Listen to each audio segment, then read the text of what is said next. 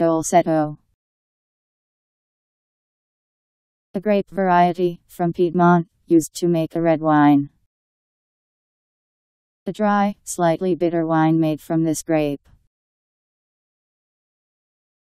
D O L C E T T O Dolcetto